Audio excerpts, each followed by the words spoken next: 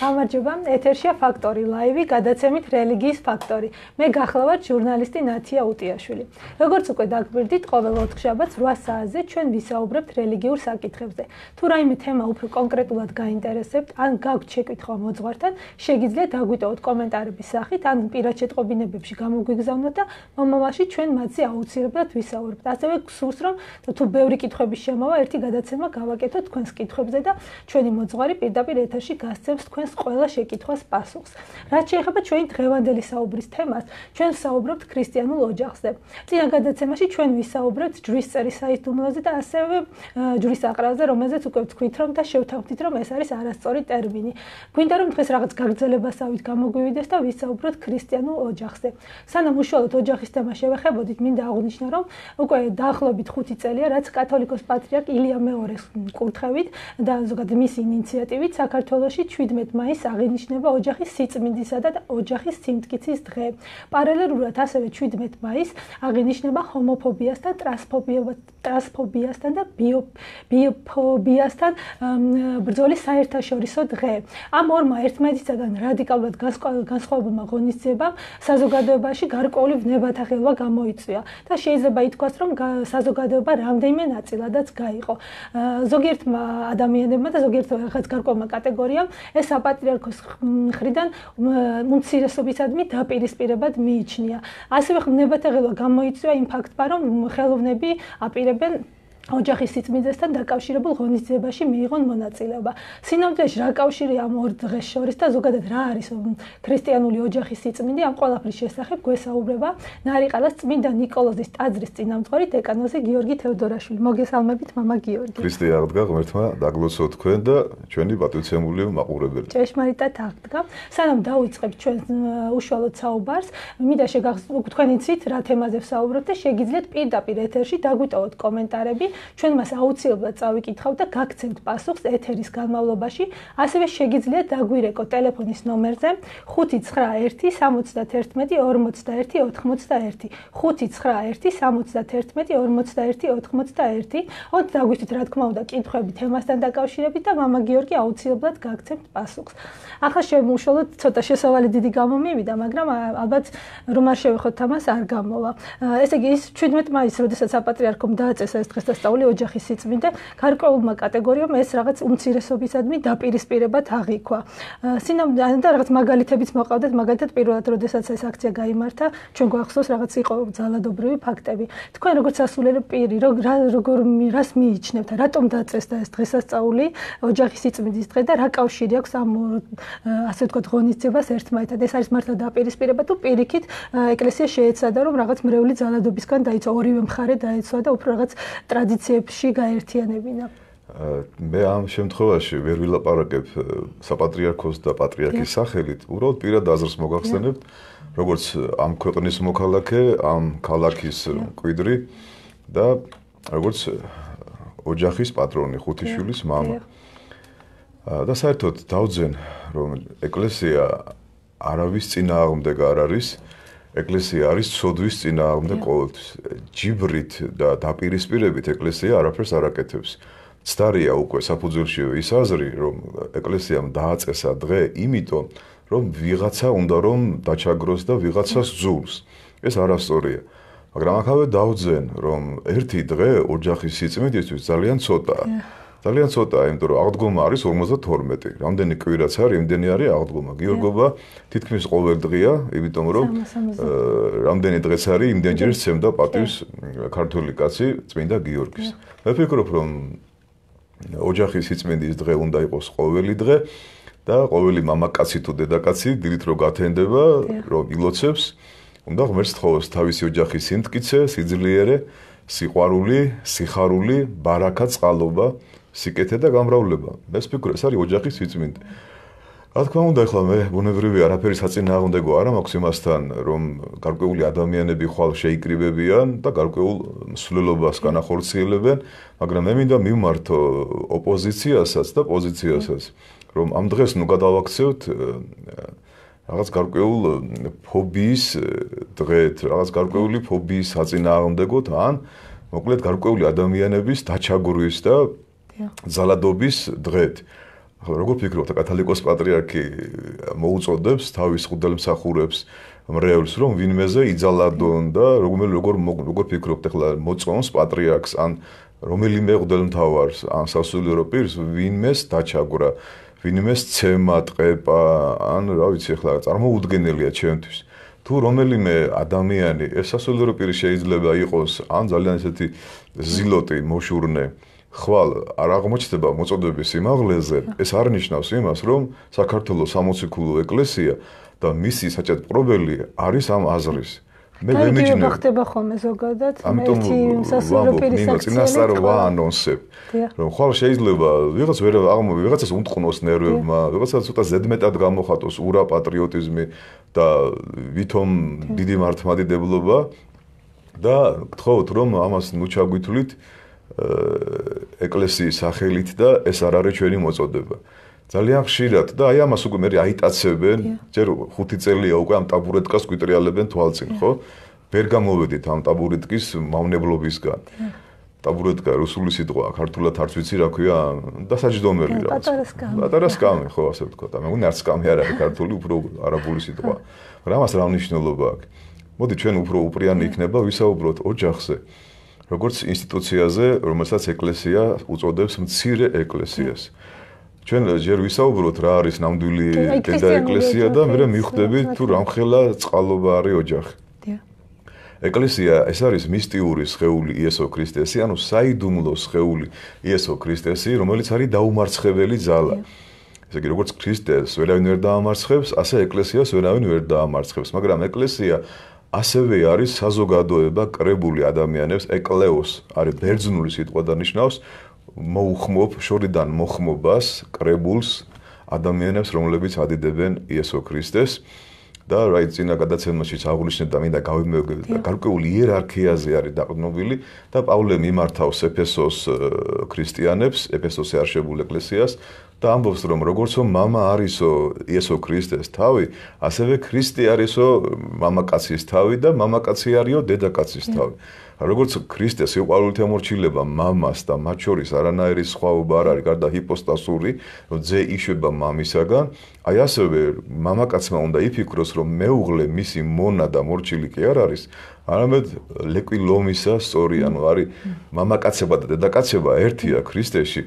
და როცა დედაკაცი ხედავს რომ მამაკაცი ისე უყვარს თავისი მეუღლე როგორც ქრისტემ შეიყვარა ეკლესია და თავი გაწირა მისთვის უნებრივია მას სხვა არაფერი არ დარჩენია გარდა ერთგულებისა მორჩილებისა სიყვარულისა და ჰარმონიული ურთიერთობისა. ძალიან ნაკლებად მჯერა რომ ეს იწოდეს ბოლომდე იმ ხალხმა ვინც ხვალ გამართავს გარკვეულ მსვლელობას. და ამიტომ მე მინდა მათ მივმართო და ყველა იმ ოპოზიციას ვისაც გონია რომ ჩვენ ისე ვართ დაკნინებულები რომ ზიზღის და ჯიბრის და ვიღაცების დაჩაგურის გამო გამოვდივართ რომ აუხსნათ რომ ეკლესია ფიქრობს ყველა ადამიანზე. აი ამ თქვენ რომ ჩამოთვალეთ, იმდენი სახელები აქვს რომ ვერ ვიტყვი.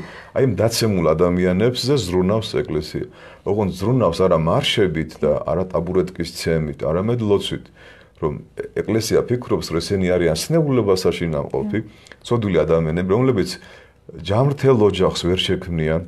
რომ ბუნებრივია კალი ქალთან და კაცი კაცთან ვერ იქნება ისეთ ურთიერთობაში, როგორც უფალს აქვს დადგენილი და აი ამიტომ შეაგონებს ქადაგებით პირადი მაგალითით, რომ ეს არის სამარცხვინო, ეს არის სოდვა, ეს არის დაკნინება ადამიანის ურთიერთობის და აი ჩვენ არამსვლელობით, არამედ ისეთი კარგი ოჯახები უნდა შევქმნათ და ვისაც გვაქვს უნდა გქონდეს რომ ეს ხალხი რო დაინახავს, აი ნახე როგორი ოჯახი აქვს მამაოს. ნახე როგორი ოჯახი აქვს იმ მრევლს, იმ ადამიანს, რომელმაც იქორწინა ისე როგორც წერია სახარებაში, რომ კარგად ესმის თავისი მოვალეობა. უფლება კი არა, მოვალეობა რომ კარგად ესმის, რომ თავარია სიყვარულით შეიქმნას ოჯახი და არა პირადი ინტერესებით, ეკონომიკაზე დაყრდნობით, რომ მე მინდა ოჯახი შევქნა იმიტომ, რომ ადამიანი გავაბედნიერო. აუცილებლად უნდა შევამოწმო ჩემი სიყვარული. მაგ თუ არა მე ნამდვილი წრფელი უანგარო სიყვარული. აი რა კარგი შეკითხვა დამისმინდა. ან მამაკაცმა ან უნევრია შენს აპირებ ოჯახის შექმნას და აი გირჩევ როგორც ჩემ სულიერ შვილს და მეგობარს რომ თუ შენ სიყვარული არ გექნება, თავი შეიკავე ოჯახის შექმნისგან და კარგად გადახედე, ვინც შექმნა ოჯახის სიყვარულის garaშე, რა მდგომარეობაში არის, ხო? ეს ძალიან ძიმე მდგომარეობა და საშინელება როცა ორი ადამიანი სიყვარულის garaშე ერთად ცხოვრობს და გაძლებაზე არიან. ვიღაცას აჩვენებენ, როგორ უყვართ ერთმანეთს, როგორი კარგები არიან. ბავშვები ხედავენ, როგორ ჩხუბობენ დედა და მამა, როგორი წივილი, კივილი, გინება, ბილსიტყვაობა, შეხლა შემოხლა და ჯახა ჯუხი. აი ოჯახი ცალკე თითქოს არც ეს არის ქართული სიტყვა. და ფიქრობ რომ აი რა არის ახლა ნამდვილი სიყვარული. არ ვიცი ვინ დამერწმუნება, არ ვიცი ვინ არ დამერწმუნება. ნამდვილი სიყვარული რა არის, ნო იცი? როცა შეგიყვარდება ადამიანი და იმასაც რო არ ჯერა რომ შენ გიყვარს. როცა იტყვიან რა ის უყვარს, ეს როგორ შეიძლება? ეს რატო უყვარს? ის როგორ უყვარს და არავის რო არ ჯერა. და შენც ხანდახან ეჭირებადება შენ თვითონ არ გჯერა რატო ტირის ტარიელი ხალხო. რატო მიდის ავთანდილი საძებნელად? რატო უჯერებს ავთანდილი თინათინს? ხო თელი ვეფხვის წყავოსანი ხო აი ესეთ განწირულ თავგანწირულ სიყვარულზე დაწერილი ხო? რატომ არის რომ ყველა კლასიკოსი თავის გმირებს კლავს და ფაქტიურად აი რატო არ რომეო და ჯულეტა თავს იკლავენ და ვერ ვერ ხარობენ ფაქტიურად ხო? მე ხლა არ ვიძახი იმას რომ ჩვენც იგივენა ეს ასეა მაგრამ აი პირველი სიმპტომი ნამდვილი სიყვარულის არის დაუჯერებლობა და უკვირს ხალხს. ამ სოფლის ჩეულებრივი ხალხი არის გაოცებული. და იძახის როგორ ეს რანაირად შეიძლება მას ის უყარდეს ამან ეს როგორ მოიყვანა ცოლად ნახე ის რა ლამაზია და მას როგორ გაყვა ამ ბიჭმა ის გოგო მოიყვანა? გესმით? აი რა არის რამდენი სიყვარული? გესმით? მე თან კითხვაში არ ვარდებია ხოლმე სხვა აი მაგას გეუბნები ზუსტად რა ხა თუ ყველაფერი ფერი ფერსა და მადლი ღმერთსა და ყველაფერი გარეგნულად თვითკოს კარგად არის, ეს არ არის ასე. აი თითქოს ნამდვილი სიყვარული არის შეუფერებელი, წარმოუდგენელი, დაუჯერებელი, შეუთანხმებელი, გაუგონარი, უთქმელი, უცნაური და არ ესმის სოფელს. არ ესმის სოფელს. აი თქვა ძალიან უხეშად შეიძლება სულიერ მოძღვარ სულიერი შვილი შეუყვარდეს ხო? ეს რომ ამას ვიღაც გაიგებს შეიძლება ატყდეს ერთი ამბავი როგორ შეიძლება? როგორ შეიძლება ეს რანაირად მოხდა ხო? არავის ეს არ ჯერა ანუ დაუჯერებელია ამ სოფლისთვის ნამდვილი სიყვარული იმიტომ რომ წარმოუდგენელია რო როგორ მე ხლა იმას არც სახლი აქვს არც კარი აქვს არც სამსახური აქვს ისეთი არაფერი არ აქვს და ეს შეუხედავი გოგო როგორ მოიყვანა ან ეს ლამაზი გოგო როგორ გაყვა იმ შეუხედავ ბიჭს ხო? ერთხელ სასულიერო აკადემიაში საკმაოდ ლამაზმა გოგომ გააბედნიერა აი საკმაოდ ესეთი თქვა ნაკლებად შესაძლებელი ხო ხეიბარი ბიჭი და აი თვითონ სასულიერო აკადემიის სემინარიაშიც უკვირდათ ეს. ხოლოდ ერთეულებმა გაიგეს რა მოხდა რომ იმან იტვირთა, იმან თავი გაწირა, იმან მსხრეპლი შეწირა სხვა ადამიანს და მიზნა დაისახა რომ მე აი ამ ადამიანს, რომელსაც შეიძლება ძალიან ბევრი გოგონა არ გაყვეს ცოლად, მე გავყვები ცოლად და მას გავაბედნიერებ. ეს არის მსხრეპლი. ეს არის ძალიან დიდი ასე ვთქვათ შესაწირავი რაც შენ შეგიძლია სიყვარულის ასე ვთქვათ საკურთხეველზე მიიტანო. ეხლა მინდა შეკითხვა დაუსვა ჩვენ პატივცემულ მაყურებელს ან მსმენელს. ვინ გააკეთა ეს, ვის გაუკეთებია, ან ვინ აპირებს ამის გაკეთებას, ხო? მე ვფიქრობ ესეთი იყო შოთა რუსთაველი. ესეთი იყო გალაქტიონ ტაბიძე, ესეთი იყო نيكოლოზ ბარათაშვილი, თითქმის ყველა რომანტიკოსი, ყველა დიდი მეფე, რომელსაც წარმოედგინე ვიღაც შეუყვარდა და ამ დროს ჩაუთვალეს ის სიძვაში, ხო, ხოლმე მეფეა და გახსოვთ ხო, გიგო ხანძთელი რომ მიდის და სიძვის დიაცი რომ გამოარიდა მეფეს. ალო ძალიან ბევრი რამე შეგვიძლია ჩვენ ახლა გავიხსენოთ ნინო, მაგრამ შეიძლება ვიღაცამ თქვას რომ ამაო რაღაც რომანტიზმში გადავიდა, მაგრამ მე შემიძლია თამამა თქვა, რომ აი ამ დარკში მინდა რომ გარკვეული გამოკვლევები დავდო და სანამ ცოცხალი ვარ, პირადი გამოცდილებით და მოსმენილით, წაკითხულით და გაგებულით გარკვეული რჩევები მივცე ადამიანებს, რომ ნუ შეეშინდებათ ნამდვილი სიყვარულის. პირველად ნამდვილი სიყვარულს ადამიანი იგზნობს, უკვე გეშინია. ამას ვინ დაიჯერებს, ამას ვინ გაიგებს და ამას მოყვება აუძა, მე ძალიან ბევრი ადამიანი სილაჩრეს გამოიჩენს. მალავს, გესმით, აი რა სიყვარულია ის, როცა შენ მალავ იმ სიყვარულს, ხო? და ვიზახის რომ აი ეს რა სიტყვია საზოგადოებაში, რა სიტყვიან ესენი, რა სიტყვიან ისინი. ანუ მივაქციოთ საზოგადოებას აზრი ამ შემთხვევაში. თუ თუ გინდა რომ ნამდვილი სიყვარული გქონდეს, არ უნდა მიაქციო საზოგადოებას. ადამიანი ნინო, რომელიც საზოგადოებას უაქციოს ყურადღებას და ისე მოქმედებს, ის უკვე დაკომპლექსებულია და ის არის მონა ამ საზოგადოების, ხო? აი წარმოვიდგინე, რატო არ მიიღო დონ კიხოტი არავინ? დონ კიხოტი არ ამ ქვეყნიური ადამიანია, იდიოტი, ხო? რაღაცა მესაკუთრე. ეხლა ეს იდიოტი საზღავის სიტყვაა და რა იდიოტი დიდებული სიტყვაა. ხო ადამიანი რომელიც მესაკუთრეა პირადი აზროვნება, პირადი ღირსება გააჩნია და ანუ ესე იგი ნამდვილი სიყვარული ჩეულებრივ ადამიანს არ ექნება. თვითონ ადამიანი უნდა იყოს ძალიან გონება გახსნილი, აი მეტაფიზიკურად მოაზროვნდე უნდა იყოს. შენ ციხლა რო გისმენ, გონი არ გეჯერება ასავლაბარაკო. თვითონ მეც არ მეჯერება ასწრე ხა მევლაბარაკო. ატო სურუჟესაც ახლა ვიღაცა წელი სიყვარულში ზღა ითქვა რომ თქვი რაღაც მსგავსება ვიყო მიფუწერია მასე. შეიძლება ვიღაცას ახლა არ დაეჯეროს რომ ეს მამაო რევს ლაბარაკობს, ხო? მაგრამ ვისაც დაინტერესდება ეთერის მერე შემიძლია დამირეკოს შეხვდე და აუხსნა ფაქტები დეტალებით მთელი ვეფხისტყაოსანი ამ სიყვარულზე დაწერილი. რატო ვერავინ ვერ გაიგო ეს რუსთაველი ვინ იყო და რატო გადაიხვეწა? იმიტომ რომ ისეთი სიყვარული ქონდა მას.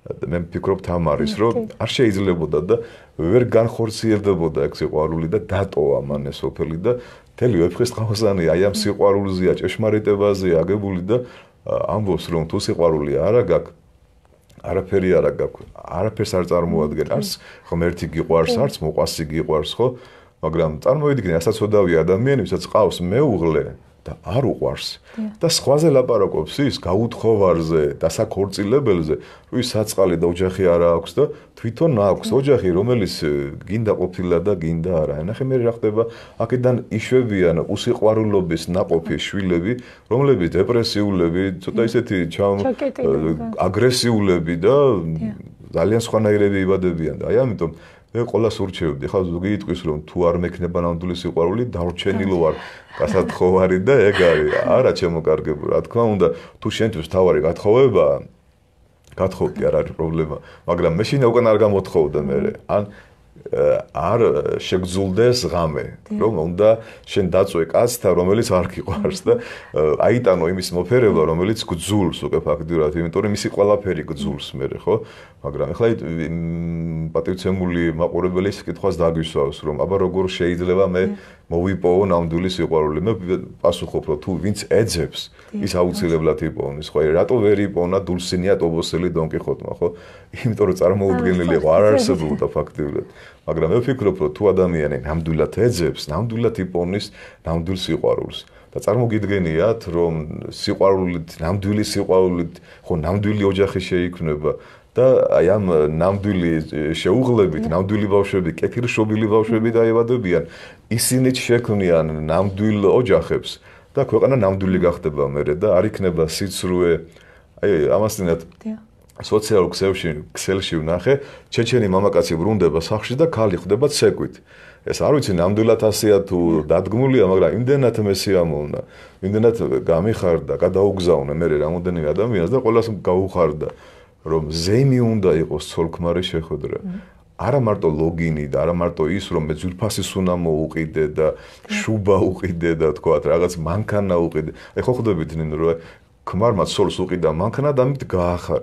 ის მანქანა ხო რკინა და ორ კვირაში ორ თვეში მოწყინდება. ეხლა უფრო სხვა ძვირფასი მანქანა უნდა უყიდოს, ან რაღაცა ძვირფასი მობილური უნდა უყიდოს და აი ამ ყველაფერით ვერ ამოავსებ იმ სიცარიელს. სიხარულს ვერაფრით ვერ შეავსებ და ამიტომ როცა მე ძალიან ბევრი ისტორია გამიგია, ოღონდ სამწუხაროდ რეალობაში არა, ციგნებიდან რომ აი არაფერი არ ქონიათ. მაგრამ ერთმანეთი ყოლიათ. აი ავიღოთ პუშკინის გაბზარული ვარცლი ეს რო არის ხო? მებადური რო წავა და ოქროს თევს რო დაიჭერს ხო? მოხუცებულია, თვითონაც მოხუცებულია და მოხუცებული მეუღლე ყავს სახში. და ითხოვს რა რა უთხოვაო და სახლი ხო რაღაც ამოდენიმე ძვირფას სახლს. ითხოვა და წარმოვიდგინე ესე იგი მოხუცებულ ადამიანს სახლზე კი არ უნდა ფიქრობდეს, არამედ ვერ ხვდება რომ მას რაც მთავარია თავისი მეუღლე უკვე ყავს გვერდით. მოხუცებული კაცს რომ მოხუცებული კაცი გვერდი ყავს მეტი რაღა ბედნიერება გინდა. ბედნიერება გააჩნია და კიდე ითხოვს რაღაცა სრა სასახლეს და ბოლოს იმასაც ვერ იღებს და ბოლოს დარჩება გაბზარული ვარცლი. ანუ ის სიღარიბე რაშიც იყო და ვერ ხედავდა რომ ესეთი ზვირფასი მეუღლე ყავდა, რომელიც ეუბნება რომ რა ვთხოვო, გესმით, როგორ უყარს თავის მეუღლე, რომ თვითონ კი არ თხოვა. ეკითხება თავის სოლს, რა რა გინდა, რომ ვთხოვო მე, ასე ვთქვათ, იმ ოქროს თევს. აი ასე უნდა იყოს, რომ მე რაღაცით რომ მინდა რომ ჩემი მეუღლე გავახარო, უნდა კითხო მას, რა რა გესიამოვნება. ხო შეიძლება რაღაც მოუტანო და არ გაუხარდეს ხო?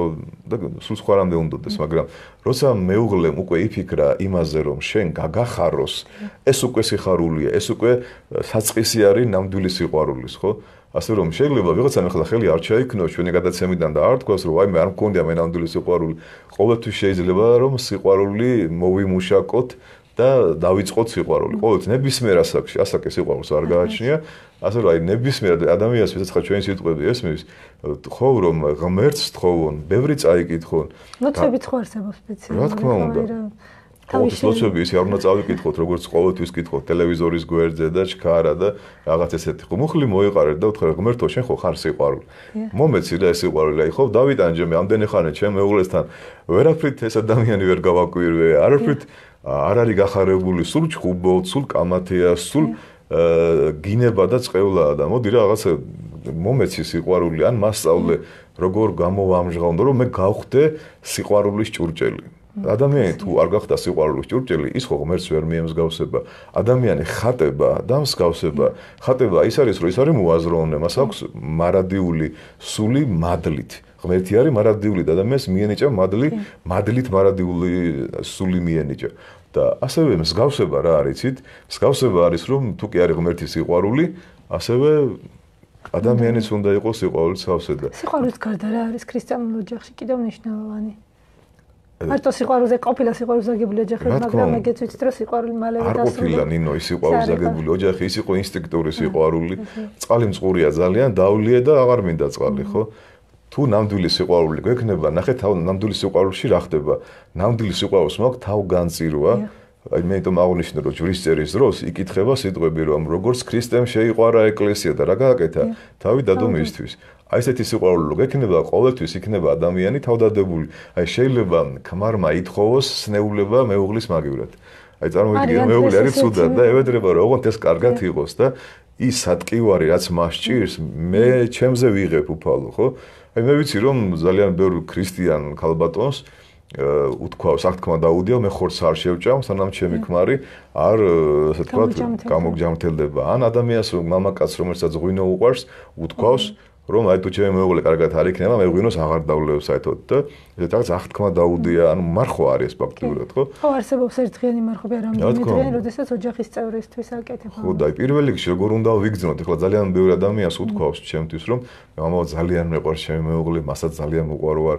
მე ხარ ვიდ არ ვიძახი რომ შეამოწმეთ, აბა ეხლა და არსებად როგორ მაგრამ თუ შენ სახში მისვლა გიხარია, ესე იგი შენ გიყვარს შენი მეუღლე. თუ მის ესეთი იუმორი მინდა ჩაუთო, ეხლა ვინმე არ დაიძაბო ჩვენ საუბარზე, ხო? ბავშვი ამბობს, რომ როცა დედასო მამის სისულელეებზე ეცინება, ესე იგი სტუმარი გვყავსო. და სტუმრის garaშე სტუმრის garaშე რომ მეუღლეს არ მიაყენებ შეურაცხყოფას და არ ეტყვი, რომ ეს რა სისულელე თქვი. მაინც რო გაიცი. ხო, აი, მაინც რო მოითმენ და ეტყვი, რომ გენაცვალე შენ. არა უშავს. გაატარებ, ხო? იმის სისულელეს, იმის ვითომ რაღაც რაღაცებს და სიყვარულით რომ გადაფარავ იმის რაღაც აკვიატებას. ყველა ხო დაზიანებული ბუნების ვართ ხო? ყველას რაღაცა გადახრა, გადმოხრები გვაქვს. ზოგს ესე იგი მრისხანე ხასიათი აქვს. შეიძლება ქალბატონი ვერ იყოს კარგი მზარეული სახში ხო? შეიძლება დალაგებაც მაინც არ ეხერხებოდეს, მაგრამ კაცი რომ მოვა სახში, არ უნდა იყოს დაწვრილი მანებული და პატარა რამეზე ქალს ჩხუბი არ უნდა აუტეხოს, ხო? აი ეს რაღაცები რო არ მოგწონს და მაინც რო არ ეჩხუბებ შენ მეუღლეს. აი ეს არის ფიქრობ გარკვეული სიყვარული, რომ ჩაყლაპავ, იტყვი რომ დათმობა, ანუ ერთ-ერთი გამოიკვეთა თვისება, რომელიც დათმობა. ბოლო-ბოლო შენ გააკეთებ იმას, რაც იმას უნდა გააკეთებინა და ამით დაანახებ მეუღლეს, რომ აი ყავა მინდა, მაგრამ შენ დაიწყე მოდუღებას ყავის, ხო? აქ რაღაცა ნაგავიყრი ადგილი და შენ დაიწყებ ამის დალაგებას, გამოგვას.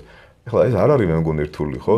აი თქვა ნიჟარაში არის ძალიან ბევრი ჭურჭელი დაგროვებული და კი არ დაუწყებ გინებას რა ზგავს, ქალო აქ რა ხდება, ხო? ისეთი ელემენტარულ რაღაცაზე იწება ხოლმე ჩხუბი, რომ გაგეცინებოთ, იმიტომ რომ მე ხლა ძალიან მაღალი იდეების სიყვარულზე კი არ ვლაპარაკობ, აი დავიწყოთ ძალიან ცირედი სიყვარულით და ეს ცირედი სიყვარული გაიზრდება და ზოგს გონიან, ინო რომ თავიდანვე დიდი სიყვარული აქვს და რო გონიაო დიდი სიყვარული აქვს და რეალობას რო შეეჯახები და მეულა რო გეტყვის რომ ზმაკაცებში ვეღარ წახვალ, ან თუ წახვალ მალე უნდა მოხვიდე, ან ეს გოგო ვინ არის რომ უცინი და ასე შემდეგ და ასე ვთქვათ, მე რეიწება ყველაფერი. მე ფიქრობ, რომ თავიდან სულაც არ არის საჭირო, რომ დიდი დოზით გქონდეს სიყვარული, თანდათან უნდა მოვიმუშავოთ, როგორც რწმენა იზრდება ადამიანში, ასევე იზრდება სიყვარული. ახლა განათლება თავიდან ყოველას ხომ არა გვაქვს, ხო? თანდათან უნდა შევიძინოთ განათლება. აი ამიტომ უამრავი სიყვარული სახელმძღვანელო არსებობს. ჩემთვის პირველი სახელმძღვანელო სიყვარულის ეს არის ბიბლია. მე არის ვეფხის ტყაოსანი და უამრავი ხა მე არ მაქვს რაღაც ესეთი ეროტიულ რაღაც რომანებზე არ მაქვს საუბარი. დორე და რაღაც ესეთი ნებებს რო აღაზრავს, ხო? ნამდვილი სიყვარული არის ამაღლებული ნებაზე. და ეს ეროსი სამწუხაროდ გვიან ჩდება ეგ სიტყვა. და ეკლესია ამ სიტყვას ნაკლებად იცნობდა. შემდგომში ამას უფრო დადებითი ის ჰქონდა, რომ ეგნატე ანტიოქიელი მეორე საუკუნის ძალიან დიდი მამა, ეპისკოპოსი ბრძანდება ანტიოქიის, ასეთ რამეს ისე უყვარდა ქრისტე, რომ ასეთ რამეს ამბობს, რომ ტრფიელებაი ჩემი, ჯვარცმულას, ქრისტეზე ამბობს. იმდენად ეტრფოდა ქრისტეს, ასე რომ თუ შენ ღმერთი გიყვარს ძალიან, აუცილებლად შეგიყვარდება მოყვასიც და იტყვი რომ ეს გოგონა, ეს ქალი, ეს დედაკაცი რომელიც მე არ მიყვარს მაინც და მაინც ხო და არ მინდა მასთან ცხოვრება შეიძლება ქრისტეს გულისთვის შეიძლება მოთმინებით თუ და ძალიან ბევრი ქალბატონის უწევთ მოთმინებით ინა ინარჩუნებს ოჯახებს. ამ მოთმინებასაც უნდა კონდეს რაღაც სანამ გავაგრძელებ მაგთემასობას კითხვა შემოსული და რომ გავცეთ პასუხი ესე იგი, ხათუნა კერესელიძე წერს: მოგესალმებით, ქონდა სიყვარულით შექმნილი ოჯახი, არ ყოფილა არანაირი ხმამაღალი სიტყვაც კი ჩვენს ურთიერთობაში. 14 წლის შემდეგ დაიწყო უსასრულობა, უსასრულო ეჭვება მეუღლის მხრიდან. ბევრი ვეცადე შემენარჩუნებინა მართლა სიყვარულით შექმნილი ოჯახი. ზუსტად ეგრე გაუკვირდა ყოველას რომც როცა გავყევი და დავქორწინით. ბევრი პრობლემები გავიარეთ. ეს ეჭვება ტან ტანჯავს თვითონ იტანჯება. ვერავინ დაარწმუნა რა შეიძლება ამ ადამიანისთვის გაკეთდეს. მე მგონი ესეთი საინტერესო კითხვაა და სევდიანი კითხვაა, ხო? ასეთ მდგომარეობაში ძალიან ბევრი ადამიანია. აი რატომ არ მიმართეს ამ ადამიანებს მოძღვარს? რატომ არ მივიდნენ ეკლესიაში? ხო, ჩვენ ხო ეკლესიაში ჯურისწერის გამო მივდივართ მარტო. ამიტომ ჩვენ ვამრთხილებთ, რომ შვილებო, ჯვარი რო დაგწერეთ, ხო? ეს თქვენი მხურვალე ლტოლვა ინსტინქტების დონეზე ძალიან მალე განელდება და აი ამიტომ რომ არ განდელდეს, ამიტომ გადააქცია წყალი ქრისტემ ღვინოთ. აი ამიტომ არის საჭირო სულიწმიდის მადლი, ამიტომ არის ეკლესიური ცხოვრება. ეკლესიური ცხოვრება მათ გონიათ ხოლოდ ჯვრის დაწერა, სანთლის ანთება და მე ბუკეტის უკან გადაგდება ესე, ხო? ამიტომ როცა მოძღვართან, ახლა ამ ადამიანებს რომ მოძღვართან ქონოდათ კონსულტაციები, კარგი გამოცდილი მოძღვარი მათ აუცილებლად შეკრავდა კარგად, დაარიგებდა რომ ასე გააკეთე, ასე გააკეთე, თუმცა არც ახლა არ არის გვიან, ნახეთ რა თქვა, იტანჯება.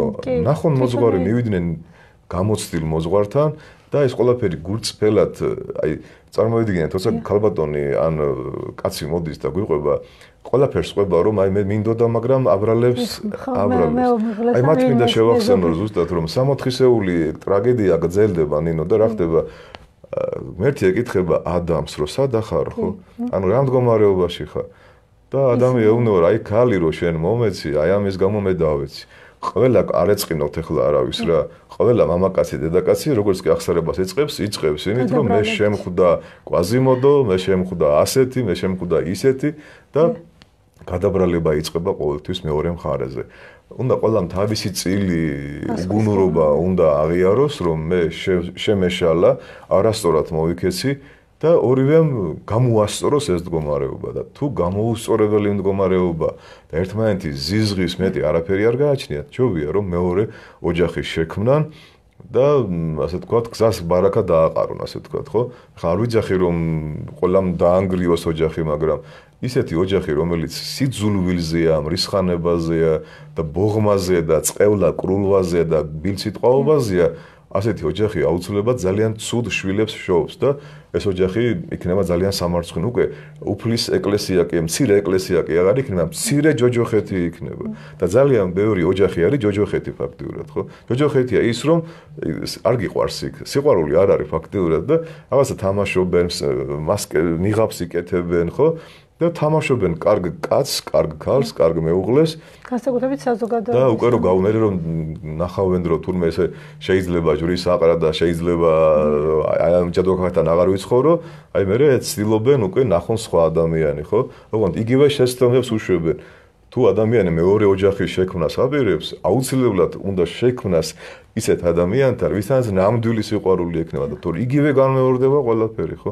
ყველაფერი იგივე იქნება და მე რა იტყვისო, საერთოდ აზრი არ ქონია ოჯახს და კიდევ დაანგრეს, ხო, გინახავთ ალბათ ძალიან ბევრი, რომ უკვე მესამე, მეოთხე, ზოგი რა ვიცი უკვე მე-6-ზე და მე-7-ზე ავიდა ალბათ და ასე შემდეგ და ძალიან დიდი თემაა ეს და აი რაღაც საერთოდ ეკლესიას აბრალებენ ხოლმე რაღაც ქალის უფლებებს თითქოს უფრო ნაკლებად აკნინებს და მამაკაცის უფლებებს წინ აყენებს. თქვენ უკვე ორი გადაცემას საუბრობთ და პირადად გვისაუბრია ხოლმე რომ თქვენ პირიქით ქალის უფლებებს უფრო საფეხურზე აყენებთ ხოლმე და თანა თქვენთვის თანატოლია ხოლმე ქალი და კაცის და ალბათ ვინც არ იცის კარგად სახარება, ვინც არ არის წმინდა მამების სწავლებას გაცნობილი, ისინი ფიქრობენ რომ რაღაც ეკლესიას ქალებისადმი უფრო სხვანაირი დამოკიდებულება აქვს და რატომაც ქალია ყველაფერში დამნაშავე. განსაკუთრებით აპროტესტებენ ხოლმე ცოტა სხვა თემაა, მაგრამ რადგან შევეხეთ, აი, როდესაც დავუშვათ ახსარების ან ზიარების რიგში ჯერ მამაკაცები მიდიან ხოლმე და მე ქალები ეს ვინც არ არის ამაში კარგად ჩახედილი, გარკვეულწილად პროტესტი აქვს ხოლმე და ზოგადად მამაკაცები თუდად იყენებენ ხოლმე ამ მომენტს. საჭირო დროს დასვის საჭირო კითხვა, როგორც ყოველთვის და უპასუხებ, რომ ის ადამიანები ფემინისტებს რო ეძახიან და ქალებს რო ატყუებენ რომ თქვენ ხართ მამაკაცის თანასწორები ატყუებენ, რატო ატყუებენ იცით რომ ქალი უფრო მეტია საღარებისეულად ვიდრე მამაკაცი და როგორ? ღვთისმშობელი ვინ იყო? ზეციურ იერარქიაში წმინდა სამების შემდეგ დგას ყოლა წმინდა ღვთისმშობელი ხო? და ქართველებს იმდენი ქალბატონი ყავს წმინდანი და დიდი რომ ზოგ ერს იმდენი მამაკაცი არ ყავს ხო და ხო ფიქრობ დაკნინებაც არის. აქ უკვე იმაზე კი არ არის ლაბორგი ქალი და კაცი სწორია თუ არ. გააჩნია ქალს და გააჩნია კაცს. აი ასე უნდა მიუდგეთ მაგრამ ხაზგასმით მინდა აღვნიშნო რომ ეკლესიური სწავლებით მამაკაცება და დედაკაცება ერთი და იგივეა. უბრალოდ წერია გარკვევით რომ ჯერ მამაკაცი შეიქმნა და მერე ქალი. მამაკაცისგან კი არ შემოვიდა ცოდვა, არამედ ქალისგან. ეს არის პავლე მოციქულის სიტყვები. მაგრამ ეს იმას არ ნიშნავს, რომ ქალი და რამით ნაკლებია, მაგრამ არის სუსტი სქესი, ხო, რომელსაც მოფერება, ჩახუტება, სიტყვა, სიყვარული და პატივისცემა ჭირდება, როგორც ქოთნის ყვავილის. რომ არ დაჭკნეს და არ გახმეს და ჭირდება გარკვეული ურთიერთობა. რომელ ქალს ესე ამონება ნინო ეხლა რომ იდგეს სახში ყველაზე მაღლა და ქმარი მას ემორჩილებოდეს და ის იყოს შემომტანი სახში, მას ეკითხებოდეს ყველაფერი, ყველა არც ერთი ნორმალური ქალი მე მგონი არ იქნება ამითი გახარებული. ყველა ნორმალურ ქალს უნდა რომ იყოს კიცე კაცის გვერდით კლდეზე იყოს მიყრდნობილი და კაც დაავალოს ყველაფერი რაც ოჯახის წინსვლას მატერიალურ თუ სულიერ კეთილდღეობას ეხება, მაგრამ სამწუხაროდ თვითონაც აქტიურად იყოს ჩართული ამ ყველაფერში. მამაკაცობა მარტო გენებით კი არ არის კაცო და მარტო ჰაბიტუსით და მარტო სექს იგრეკით კი არ არის, იქსი და იგრეკით კი არ არის მამაკაცი და კაცობა, რომ სამწუხაროდ ძალიან ბევრი ქალბატონი მამაკაცია თავისი ცხოვრების წესით იმდენად ძლიერი და ვაშკაცურია და ძალიან ბევრი კაცი რო შეხედავ კაცია, მაგრამ არ არის კაცი ფაქტიურად, ხო? ის ვერ არის მოწოდების სიმაღლეზე. ასე რომ გააჩნია მაგრამ მაინც ეს ერთობა უნდა დაირღვეს და თუ ხალი ხედავს რომ მამაკაცზე მეტი აზროვნება და გონება გააჩნია მაინც უნდა შეუთანხმდეს მეუღლეს და კრედიტობით საუბრით გადაწყვიტონ რაღაც გარკვეული საკითხები რომ ნორმალური ადამიანი ხა მამაკაცი თითქოს გასულია ხო სახლიდან და ჩააბაროს რა სახლის საქმეები ცორს რა არის ამაში ცუდი ხო? და თუ მეუღლე გთხოვს რომ აი ამ ფერის რაღაც ნივთი მოიტანე. შენც იყიდე ამ ფერის უბრალოდ ეხლა ნუღა დაუწყებ დავას რომ სამზარეულო უნდა იყოს წითელი თუ შინდისფერი, ხო? ამაზე არ არის საჭირო. თუ ქმარი გიყვარს მოუთმენ და თუ ცოლი გიყვარს შენს დაუჯერებ და ოღონდ იმან გაიხაროს და ის კარგად იყოს. ნორმალური მამაკაცი დაფიქრდება და დაინახავთ თუ ცოლი გახარებულია ესეც გახარდა ზოგი პირიქით რა ხედავს რომ ცოლი გახარდი და ნიბოღმება გესმით ხანდახან არისო ცოლკმას ერთმანეთი შურთ და ვერიტანს არაჯანსაღი და ყოფილა მე ახსარებაში მომისმენია რომ ესე იგი რომ კაცს ეშლება ნერვები იმიტომ რომ ცოლი კარგად არის რა ხა აი მოუშლია ნერვები ხო ამ პირიქით რომ ხედავს რომ კაცი დაბრუნდა სუფრიდან კარგი ხასიათზეა და ეს ისეთ რამეს ეთქვის რომ კაცი შეიძლება გადარიოს შვიდან და მე რა დაიმსახუროს თავში რაღაც ნივთის ჩააკმა, ხო? მაგას არ ამხრო. არ ამხრობით არა. ეს ვიდეო და გავაცინდე ხალხი არავის არ თქმა უნდა. ფიქრობ რომ მომაგია. არ ვიცი, რა თქმა უნდა, უბრალოდ ესე ხდება ხოლმე და მე რა უხსნი რომ აი რატომ მოხდა, მოდი გავაანალიზოთ, ჩხუბი რამ გამოიწვია, ხო? და მე მივდივარ თიქ რომ თითქოს დაიწყო მცირედით და გადავიდა მე იმ დიდ რაღაც რაღაცეებში, ხო და ძალიან მე უკვე ხედავთ რა მე აუცილებლად ხაზი უნდა გაუსვა რომ პირდაპირ დავალება გარკვეული არასამთავრობო ორგანიზაციების რომ როგორც კი ქმარი დაუყურებს სოლს ან ოდნავ ხელით შეეხება ეს არის ზალადობა და უკვე ციხე გაავსეს მოძალადე კაცებით. ხო ეხლა ქართველი კაცი თუ ცოტა ხმამაღლა დაელაპარაკებათ სოლს და მე არ ვიძახი არ ვემხრობი ამას და არ ვიძახი რომ ეს კარგია ყველა ციხეში ხო უნდა დავიჭიროთ კაცო ამის გამო ხო? ხო შეიძლება ადამიანია და გამოვიდა მდგომარეობიდან რაღაც მუშტარი დაარტყა მაგიდას. და ეს ზალადობაა? ეს ხო შეიძლება ხო? და ძალიან ალბათ გესნობათ ჩემი სიტყვებით ძალიან ბევრი მამაკაცი ახლა ოჯახი ვაგდო დაანგრიეს. ხა ის რო ციხიდან გამოვა, როგორ ფიქრობთ, შეურიგდება თავის მეუღლეს? ან თუ მივასახში, ისევ დაძაბული სიტუაცია იქნება, ხო? მე ფიქრობ, რომ როგორც კი ქმარი და ცოლი შენიშნავს, რომ რაღაც სისუსტეებია ოჯახში, რაღაც გაუგებრობა მიდით რა მოზღვართან, მიდით განათლებულ, განსწავლულ მოზღვართან, ვისაც თვითონ აქვს კარგი ოჯახი, ვისაც გამოცდილება აქვს, სიყვარული. თუ შეგვარასწორი მიმართულება მეცეს. სწორი მიმართულება რომ მისცეს, კეთოსო შენ იმას როგორ უთმენ და არ დაუთმო, აბა ეგ ხალია და შენ კაცი ხარ და და არა თავდაბლობას რო ასწავლი, სიყვარულს რო ასწავლი, მიტევებას რო ასწავლი, მოთმინებას რო ასწავლი. ჩვენ შობლებს რო ეხლა ასე პატარა რამეზე ოჯახები დაენგრიათ, რა იქნებოდა წარმოვიდგენია, ხო? ასე რომ ეს ყველაფერი ისწავლება რა თუ კი იმ კაცისგან იმ ღუდლისგან ჯვრის წერა გინდა. კითხე მე ხო აი რო რამდენიმე წლის წინ მამაო რაღაცა ლოცვები რო წამეკითხე. რაზე კითხულობდი რა იყო იქ რამევალე ეხლა მაინც გაიგე ხო? მაგრამ არა. ის ხათუნო წეს კიდევ შეიძლება რაღაც ვერ გავეცი დამამწურავი პასუხი და წავიკითხა ხო აი და ძალიან უჭირს იტანჯებაო არაფრის გამო მოჩვენებითი ეჭვები აქვს და დაინგრა ოჯახი არ შეიძლება და ერთად გაჩერება რადგან შეიძლება თუდად დამთავრებულიყო მაგრამ ამ ეჭვიანობით საშილად მაგრამ არც უნდა ამ ურთიერთობის დათმობა როგორ უნდა ამ ადამიანს ანუ როგორ დავეხმარო ალბათ. მაინც აინდა ტაძარში მე თვითონ ვიყავი და მეუღლე არ დადის მე ვერ მივიყვანე იქამდეო. ანუ ბოლოს ჩვენ რომ თქვით რომ ტაძარში ჯობია მივიდეს მოძღვართან და ძალიან ინტიმური კითხვებია და სასურველია რომ ხლა ამ ეთერში ყველა კითხვას ვერ უპასუხებთ, მაგრამ მე ვადლებ მისამართს დანიშნულებას, რომ სასწრაფოდ დაიწყონ სულიერი ცხოვრება, მივიდნენ მოძღვართან და აი ექიმთან ადამიანებს ექიმი ხება კითხება, აბა მომიყევი შენი ანამნეზა ხო? როდის რა როგორი იყო ხო? ასე არის ესეც რომ მოდი რა დავიწყოთ. ხლა არეწყინოს ამ ქალბატონს და არავის რა რომ ყველა გაბრაზებულია სხვაზე. აი დედამთილის ბრალია, მამამთილის ბრალია, ჩემი მეუღლის ბრალია. აი დავიწყოთ იგი და რა იყო ჩემი ბრალი, როდის დაიწყო ჩვენ შორის უთანხმოება, როდის დაიწყო ჩვენ შორის ხმამაღალი საუბარი, ბილსიტყვაობა, წყევლა, კრულვა და მივხვდებით რომ ეგოისტობას აქვს ადგილი. ორი ეგოისტი ერთმანეთს არაფერს არ პატიობს, არ უთმობენ, ეჯახებიან ერთმანეთს და ორივე წყალში واردებიან, ხო? დარწმუნებული იყავით, რომ თუ მეტი მოგეცა შენ და ფიქრობ რომ ხვდები რომ ვიჩაგრები აუცილებლად მეტი უნდა მოითმინო. რა ვიცი მეტი მიეცა, მეტი მოეკითხება, მაგრამ ჩვენ ხო თანამედროვე 21 საუკუნის ადამიანები ძალიან ამაყები ვარ, ძალიან ეგოისტები ვარ, ძალიან ისეთები ვარ, რომ აი როგორ კაცო მე ესე უფლებები მაქვს და ეხლავე დავაჭერინებ შენ თავს. და ხალი რომ პირველივე ჩხუბზე პატრულში დარეკავს, ეს იმას უკვე ოჯახი აღარ უნდა ფაქტიურად, ხო? ის დამთავრებულია იმის საქმე. კაი, ხო, გააფრთხილე შენი ქმარი, კიდე გეჩხუბა და დაიჭირეს. რა, მოგვარდა ამით საქმე? როგორ ფიქრობთ, მოგვარდება ამით საქმე დაჭერით და კანონებით და შეურაცხყოფებით? ის კაცი ხო ციხეში დაждდება, მე ხო გონზემო ხო დაფიქრდება, რომ ბავშვები რა სიტყვიან, წარმოვიდგინე, საზოგადოება რა სიტყვის, იქ და გამოსულ ადამიანი უფრო გაბოროტებული გამოდის და ცდილობს რომ მეორე ოჯახი შექმნას მე. აი ამიტომ სანამ დავიწყებთ ჩხუბს და აყალმაყალზე გადასვლას, სასწრაფოდ მივაშუროთ ეკლესიას. ზოგს გონია ეკლესიაში მისვლა, მარხვის შენახვა, 4 საათზე ლოცვაზე დასწრება და 10-ის ნახევარ და წირვაზე დასწრება. ეს არ არის ეკლესიაში მისვლა. ეს არის რომ მამაო მოძებნე, დაუჯექი. ქაღალდი კი არ მიაწოდო რა ეს ამპარტაუნებით, მრისხანებით. დასვი მამა, დაჯექი მამაოსთან, გამოცდილ მამაოსთან.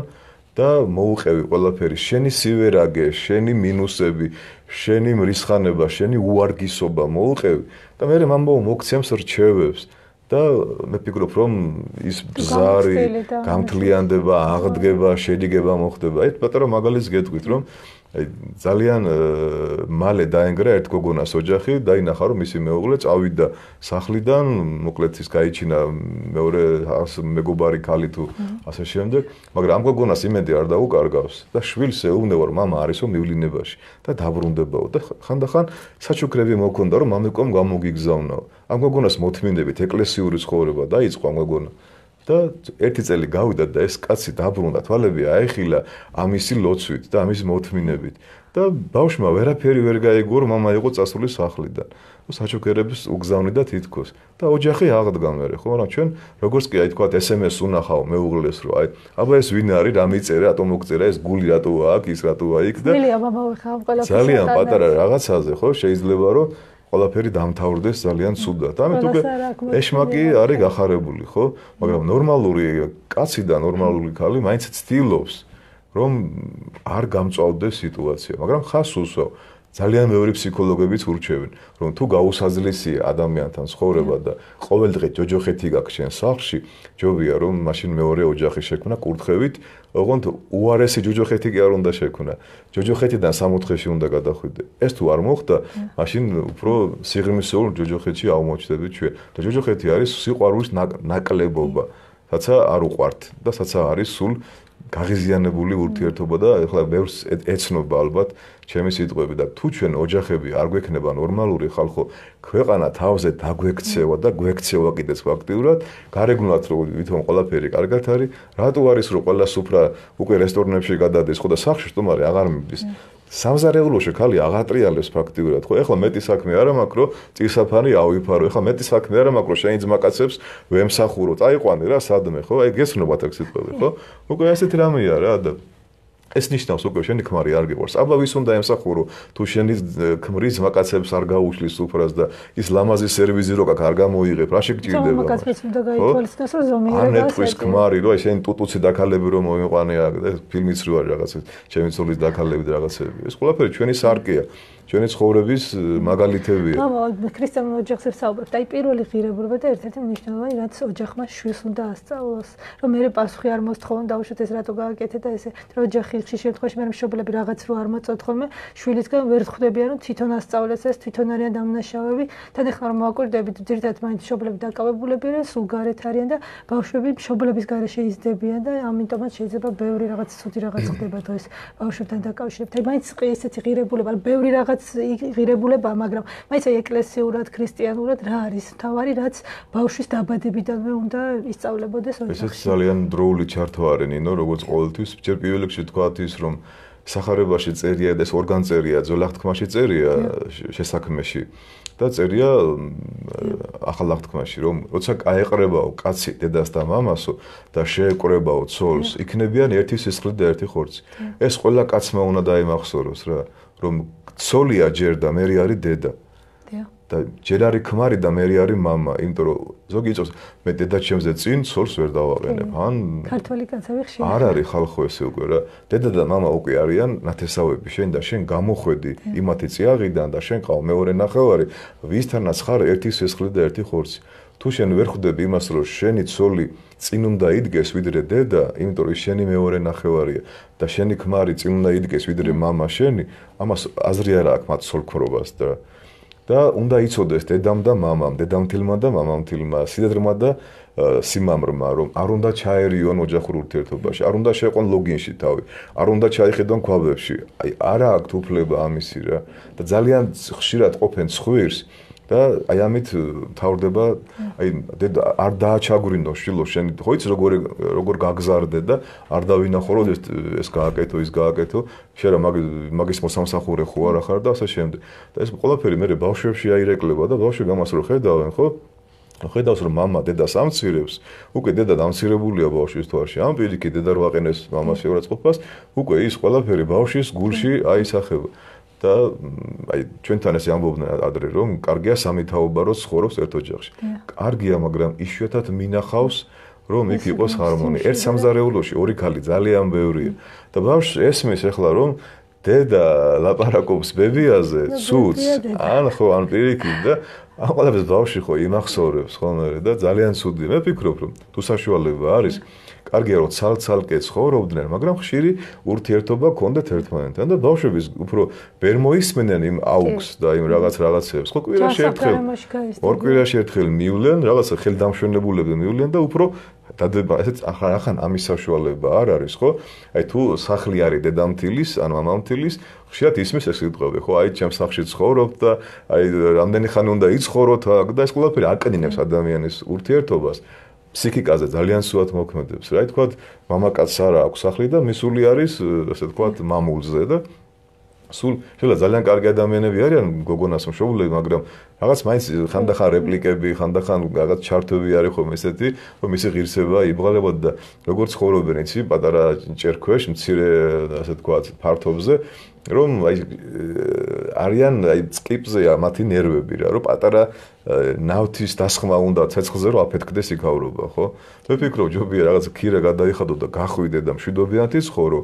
ვიდრე ყოველდღე დამცირებას ითმენდე და შეურაცხყოფას და ასე შემდეგ. უკვე მე როცა დაძაბული ურთიერთობაა ცოლ-ქმარ შორის, აღარც მოფერება უნდათ. რა სიყვარულზეა ლაპარაკი. ხო, უკვე პირუტყვებივით მარტო საჭმელს მოიტანენ, შეჭამენ და პულტი უჭირავთ, ის ფეხბურთს უყურებს, ის სერიალს უყურებს და არანაირი კონტაქტი, არანაირი. მე ყველა იმიტომ არის სოციალურ ქსელში მე ფაქტიურად, ხო? და ის რომ აი შეხედო შენ მეუღლეს თვალებში არ არსებობს. რომ ქალს რამე გამოეპაროს, რომ ისი მეუღლის თვალები სხვა ქალისკენ გარბის. მიხვდება თუ ჩახედავს, ხო?